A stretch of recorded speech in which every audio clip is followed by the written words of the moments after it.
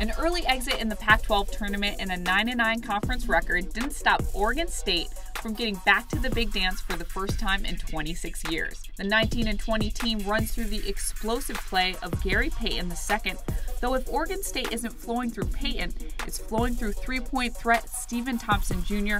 and Tres Tinkle, the son of second year Beavers coach Wayne Tinkle. In order to win its first NCAA tournament game since 1982, the Beavers will need to step it up on the glass, where they're one of the worst rebounding teams in the nation.